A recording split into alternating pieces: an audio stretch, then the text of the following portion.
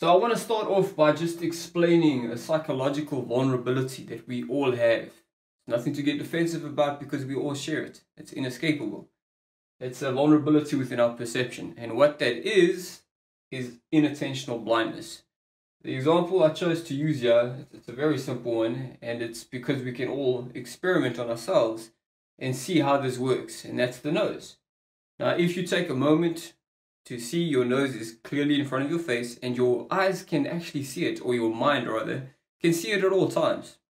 But it chooses to block it out. It eliminates it because it's not considered a priority. And if you want, like I said, you can quickly experiment on yourself, consciously look at it, it's clearly in front of your face. And then if you look at something else, you'll notice it pretty much vanishes. That's inattentional blindness. Now, the significance of this is if something is considered an unconscious priority, and when we tend to think of priorities, we might think about what we want them to be, but a fear could be a priority. Propaganda could be an unconscious priority. It takes precedent because maybe the media is always sharing it or something along those lines. And not only does the mind have the vulnerability to where we can actually eliminate something staring at us right in the face, if you notice, when your nose vanishes, when you look back at this presentation or you look at something else, you'll realize that not only does the nose vanish, but the mind actually plugs in what it thinks should be there instead. So when you're looking at this presentation where your nose should be, your mind actually creates an image of what it thinks should be there instead, what it considers to be a bit more important. So in that way, it can create a very subtle illusion for us. And like I said, nothing to get defensive about.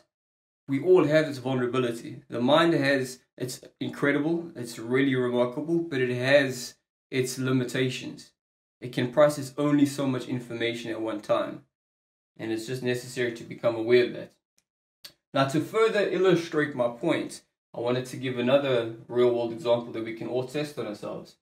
And that's this red dot with this blue circle around it. What I'd like you to do is just take a few seconds to try to block everything out and just focus on that red dot. Nothing else. Just for a few seconds.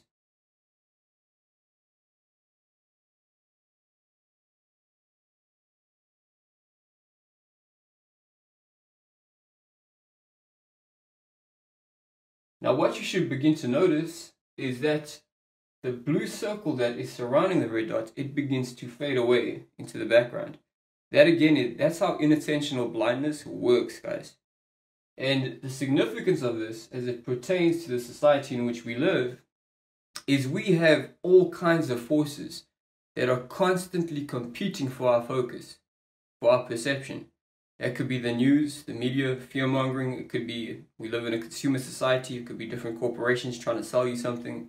There's many, many people, many, many individuals, many groups, many organizations that are all trying to compete for your focus. And those who have the biggest platform, which tend to be the billionaires and the trillionaires of this planet, they have a megaphone, a proverbial megaphone that they can use to essentially induce inattentional blindness.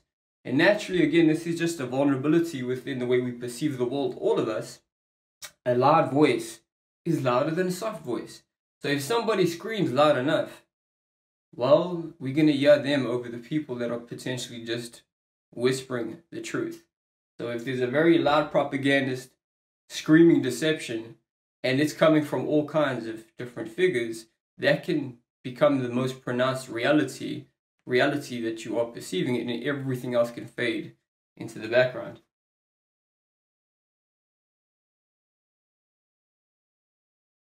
Coke court funding scientists to deflect blame for obesity away from their sugary drinks. And the way they would do this is that they would focus almost entirely on exercise while trivializing how their sugary drinks and the unhealthy products contribute to obesity.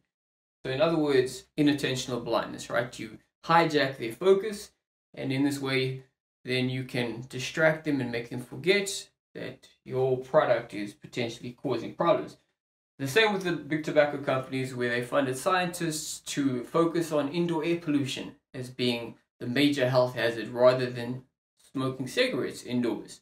And this is clever because there is some truth to what they are spreading. Yes, it is true. Indoor air pollution is a major health risk. Just as if you don't exercise, that's also a health risk. But when you begin to trivialize and undermine how, you know, the tobacco companies, how smoking cigarettes is obviously dangerous for your health indoors, or how Coca-Cola sugary products are also dangerous for your health, and they undermine the role that um, that diet plays, then you are engaging in a skillful level of propaganda. So we just we need to become wise to this kind of behavior.